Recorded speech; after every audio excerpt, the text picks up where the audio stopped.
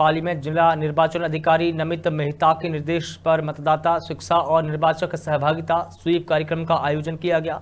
इस कार्यक्रम में मतदाता जागरूकता कार्यक्रम के तहत आंगनबाड़ी कार्यकर्ताओं को विभिन्न जानकारियाँ दी गई है। जिला परिषद दीप्ति ने कहा कि गत विधानसभा चुनाव में पाली ज़िले का मतदान शत प्रतिशत पैंसठ फ़ीसदी था, जो कि राज्य में न्यून माना जाता है। इस बार सभी को मिलकर मतदान प्रतिशत को आगे बढ़ाना है। उन्होंने आंगनबाड़ी कार्यकर्ताओं को अधिक से अधिक मतदाताओं के नाम मतदाता सूची में जुड़वाने के बारे में जानकारी दी।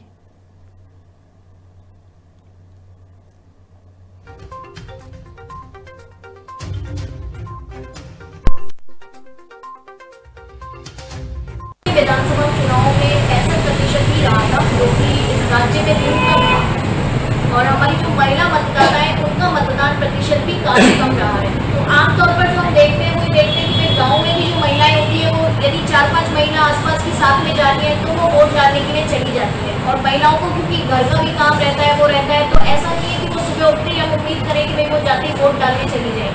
वो अपने घर के सारे कामों से, जब अपने कामों से फ्री हो जाती है, तब जाके वो वोट डालने जाती